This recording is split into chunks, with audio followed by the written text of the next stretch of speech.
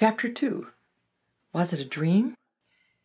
I woke fresh and alive as though I had just come in from a brisk walk. My big round alarm clock read 7:41. Where had I been?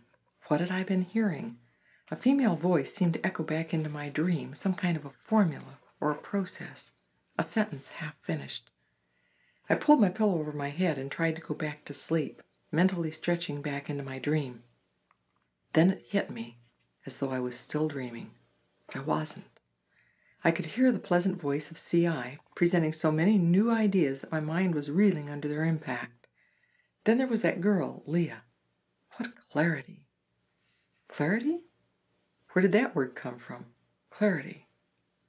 It had a nice feeling attached to it, yet it now meant something new, something it had not meant before last night's dream.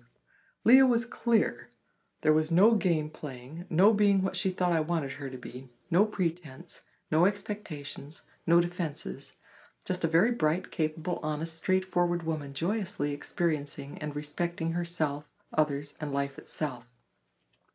Hers was not the shallow, brittle beauty of a Hollywood starlet, but a deep, almost spiritual essence that seemed to radiate from her. While her physical beauty was obvious, it was the sparkling, multifaceted depths of her mind which aroused and excited me with a completeness that I had never quite reached before. Hugging my pillow, I felt Leah warm against me, and once again argued with myself. Why cover my bare body? Just so I wouldn't be embarrassed? Why be embarrassed? If the body is just the outer garment of the essential self, and there was another new term essential self it too meant something new, something more complex. This dream was a more interesting education than any class I had ever attended. Why? The question brought my mind's focus from a fantasy world of the future back to the prosaic present. Mentally, I moved into this new day.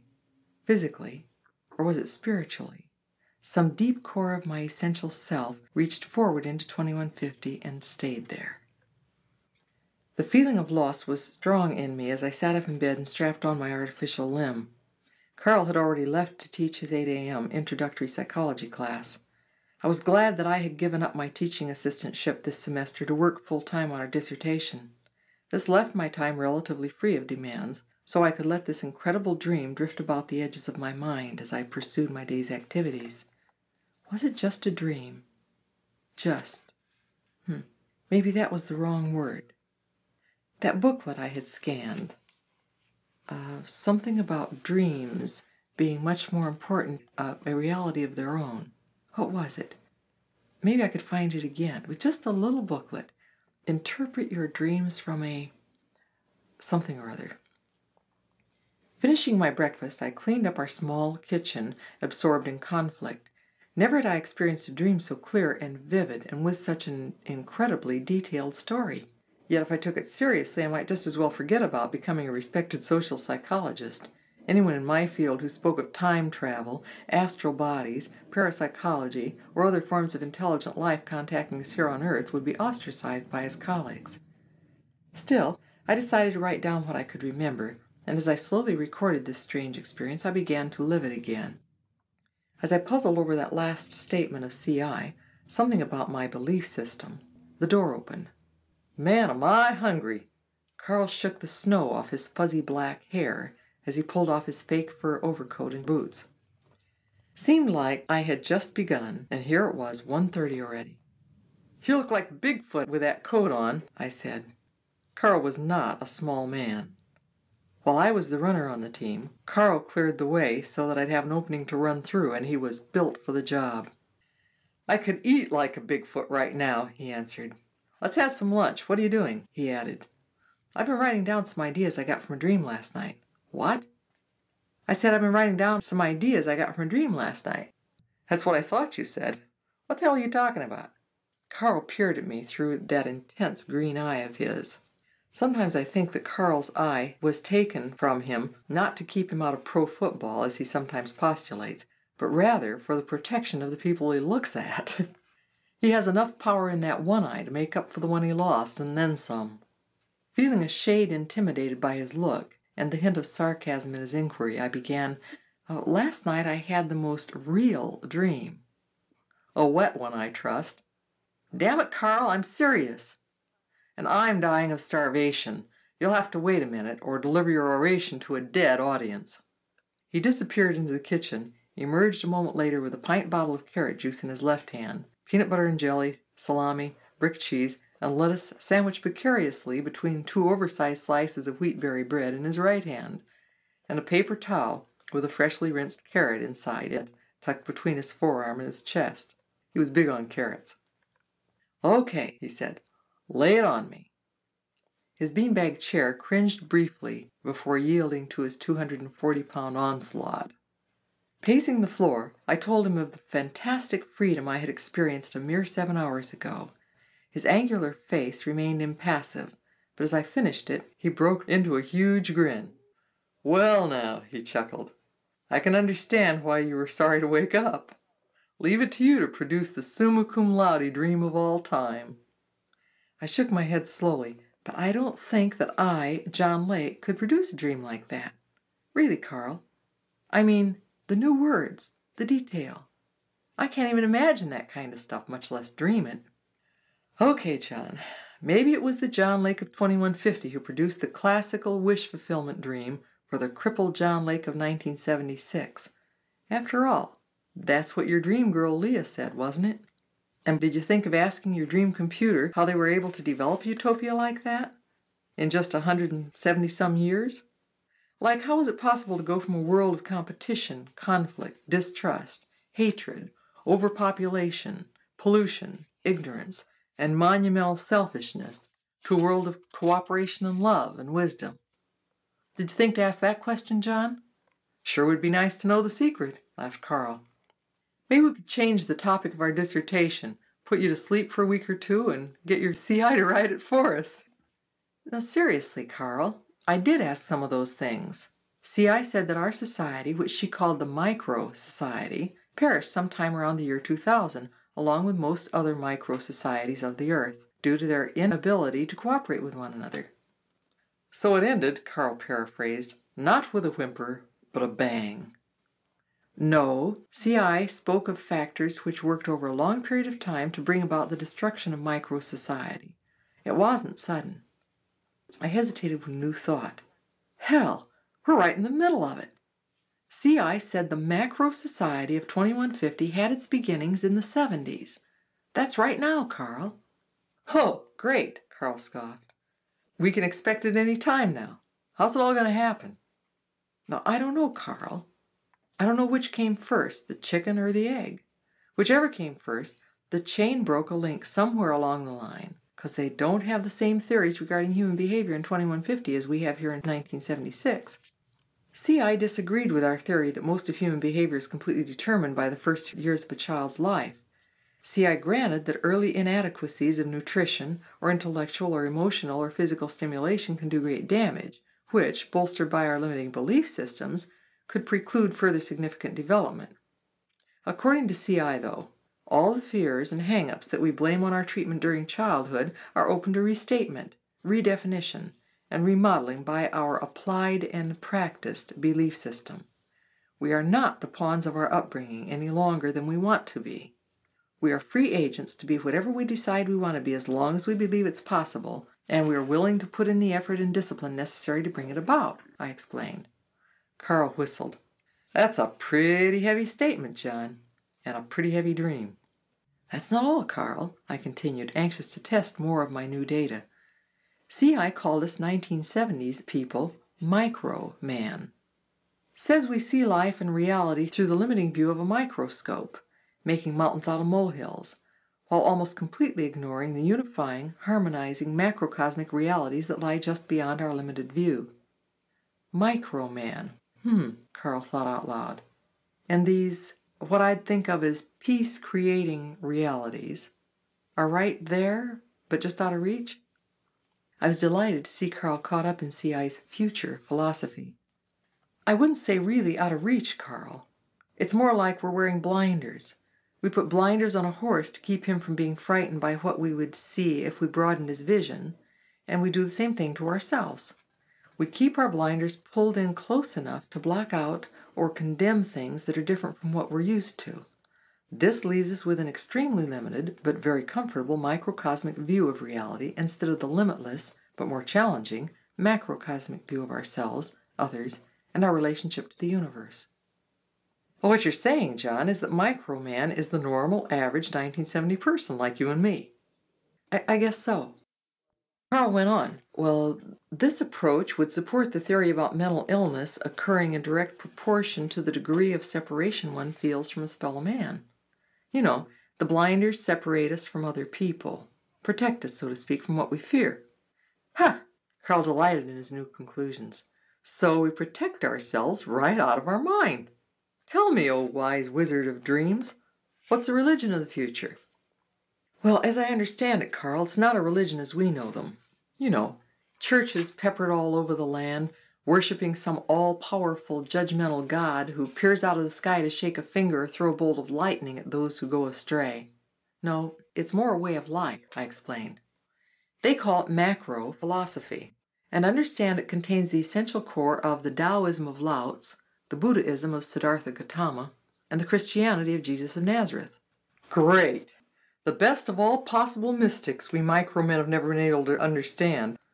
How do they train everyone to become a great mystic philosopher so they can understand this macro philosophy?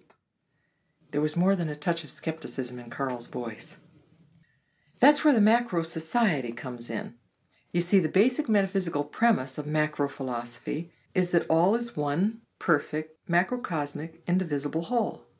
It's the ancient idealistic concept that all is perfect, all is mind, one universal mind. However, in 2150, according to CI, they don't just talk about it, they live it by organizing their society on this premise. I raised my hand to delay Carl's interruption. It's obvious that the macro society could only work if its people accepted the basic premise of macro philosophy that all is one. So the macro society is set up to teach its children about this macro perspective, from which they can practice the one commandment of Jesus to love one another. Jesus H. Christ, John. Man is an animal. We can condition, reinforce, and program almost any type of behavior, but we can't change the basic animal nature of man. We can't pump out a whole generation of little Jesuses. Well, that's true, Carl, I said soothingly. They don't disagree with you. CI emphatically states that macro society could not exist until micro man, with his limited perspective, his limited beliefs, became almost extinct. Micro man is an animal because he views himself as an animal. It's a self fulfilling prophecy, Carl. We become that which we believe ourselves to be. Our beliefs limit us to the short span of time between birth and death of our physical bodies and the accidents of genetic and environmental inheritance. Macroman, however, does not see himself as an animal. He understands that we are constantly creating ourselves with every thought we think. He knows that his every cell responds to his every thought, thereby making of him that which he believes himself to be. Macroman knows that he's not the victim of circumstances, but rather the designer of his own destiny, the creator of his own reality. He knows that his life holds only those experiences which he himself chose for his own growth, and Wait a minute, Carl interrupted, waving his hand to slow me down. What may I ask is macro man? Is he the same as 2150 man? No, I don't think we could presume that. A person is beginning to be macro emotionally and spiritually when he starts caring about others, when he starts breaking down the barriers of prejudice and fear that separate men from each other. A person is beginning to be macro mentally when he has evolved to a level of awareness in which he remembers his origin as an immortal soul within the macro self, the macrocosm.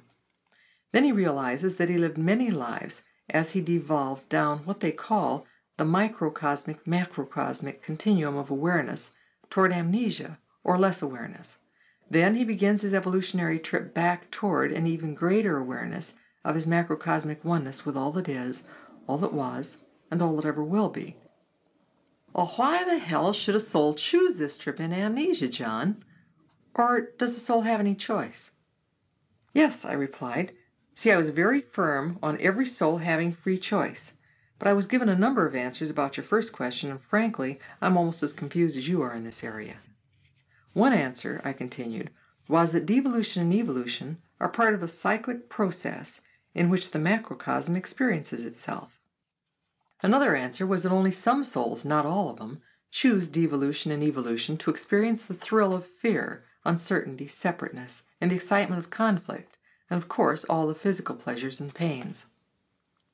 You mean the old saw about how dull perfection would be, huh? Carl interrupted. Uh, maybe, I replied.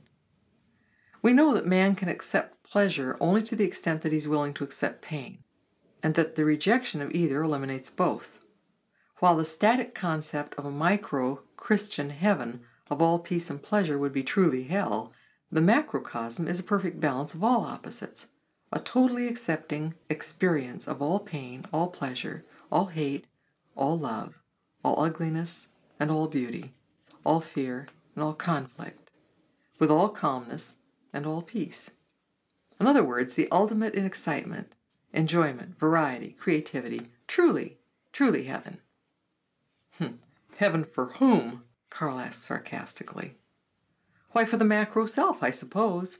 It's only when we've evolved to the awareness that we are the macro self that we can experience this acceptance of all that is, all that was, and all that ever will be as perfect. I could almost see Carl's razor sharp mind racing furiously. Are you saying that to this macro self everything is perfect? Things like poverty, disease, injustice, death, and even selfish micro men like us? Yes, I nodded, because they are perfectly balanced, and a positive and a negative that are equal cancel each other. Such things as poverty, disease, injustice, and death only exist at micro levels, never at the macro level of awareness. That's what the mystics meant when they said that all is illusion or Maya. But it's a damned real illusion to all of us micro beings, Carl retorted.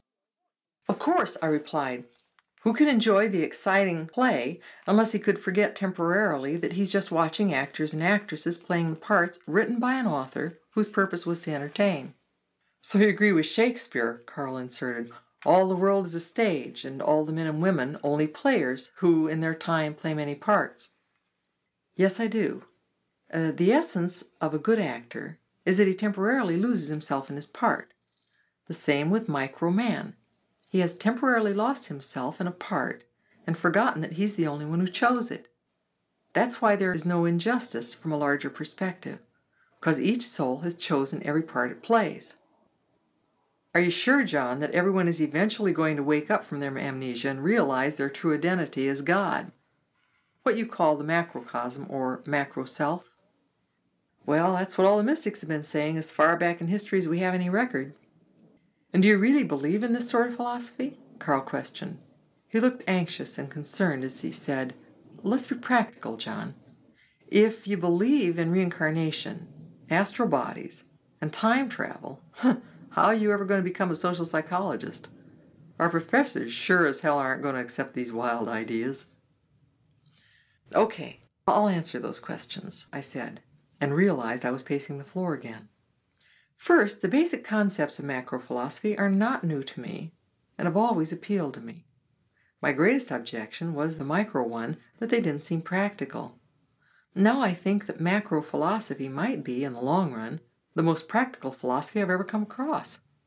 As for being a social psychologist, I don't deny the validity of the micro view of man as a highly evolved symbol thinking animal, completely determined by his heredity environment. However, I'm not going to reject a macro dimension, which includes the micro one, but adds the concept of soul, karma, reincarnation, and the ultimate macrocosmic view, which sees us all as one indivisible universal mind. Now, as for my professors and fellow behavioral scientists, I accept the fact that, in their opinion, no one can be a real scientist and believe in macro philosophy. So, if they find out I'm considering these concepts, I won't be a social psychologist as far as they're concerned. I'll be a mystic nut who can't tell the difference between hallucinations and reality. But, said Carl, you don't have to let anyone know that you're dabbling with ideas like reincarnation and macro philosophy. You've been hitting the books for almost three solid years, and you haven't once taken a vacation. There's no wonder you get an escapist dream. But then you think my dream is part of a mental breakdown due to overwork, huh? So you're going to supply psychotherapy for me if I'll just shut my mouth and not talk to anyone about my deranged ideas? Now, John, put yourself in my place, Carl pleaded. Just imagine that I came to you and told you all the things that you've told me today, and I admitted they were all based on a dream that I'd had the night before. Be fair, John. How would you react? I couldn't help laughing at the thought of Carl talking as I had. I said, Okay, Carl, you made your point. If you came to me with the same story, I'd say you were nutty as a fruitcake. But you've always been the hard headed realist. I've been the philosopher. Besides, I've always been fascinated by dreams. You never bothered to even remember yours. What you're saying, then, Carl replied, is that you've always been the type to go off the deep end over some crazy dream. John, you're too close to finishing your doctorate to take chances like this. I'll be glad to listen to you, no matter what you want to talk about. Don't discuss this with anyone else yet, okay? All right, I said. Maybe you're right. Maybe it was all just a wild dream. I'll test the hypothesis tonight when I go to sleep. Now that makes sense, Carl said with relief. Look, I have to go. I've got an appointment with one of my students. Then a date with Cindy tonight. If you're asleep when I get home, I won't wake you up. By all means, don't wake me up. I'm going to bed early tonight and see what happens. By the way, I continued, I wrote down most of the details of my dream. I thought the organizational structure of the Macro Society might interest you. It's all in the notebook over there on my desk. If you don't come in too late, you might glance through it.